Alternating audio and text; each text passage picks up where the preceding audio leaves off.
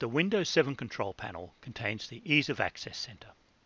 This has many tools to help you change your computer settings so that it is easier to use. To navigate to the Ease of Access Center, click the Start button and go to Control Panel.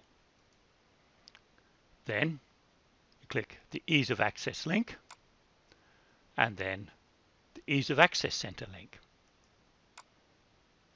Alternatively, I'll just close this first. You can use the easy keyboard command of Windows key plus U and this opens the Ease of Access Center. From the Ease of Access Center you can start the magnifier, the on-screen keyboard, the narrator or set up high contrast.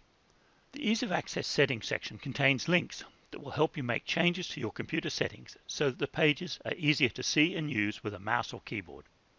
Changes made to the settings will be remembered so that the next time you log in, the computer will also be easier to use. You can also use these tools to undo any changes you have made.